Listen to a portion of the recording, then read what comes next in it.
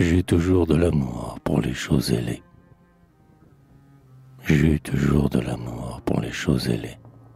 Lorsque j'étais enfant, j'allais sous les feuilles, j'y prenais dans les nids de tout petits oiseaux.